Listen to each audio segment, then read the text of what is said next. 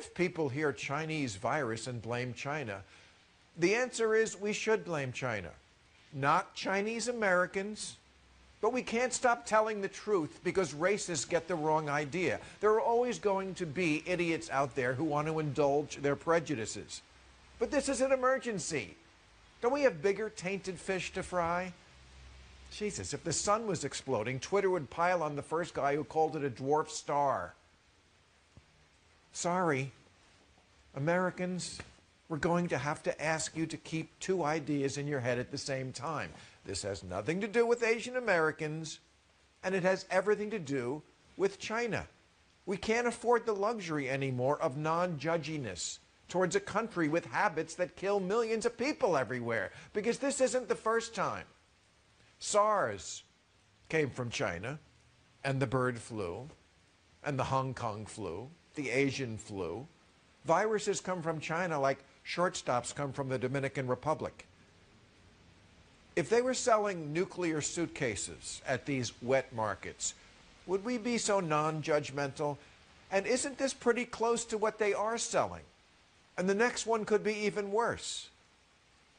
If the Chinese military had purposefully infected this country with corona as a bioweapon, we'd be at war with them out of control. The economy is out of control. China is the one that's out of control.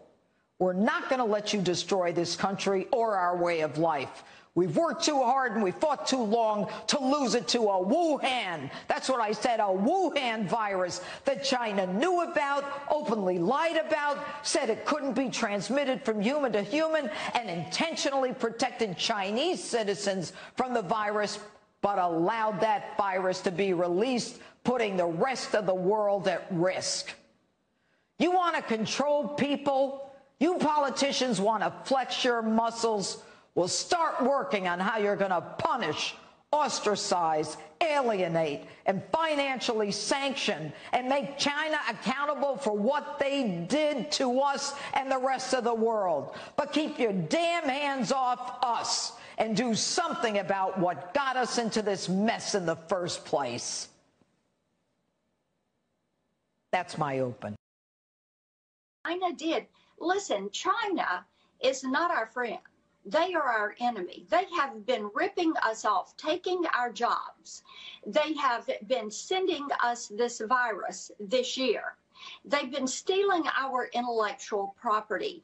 And we need to realize they are not our friend.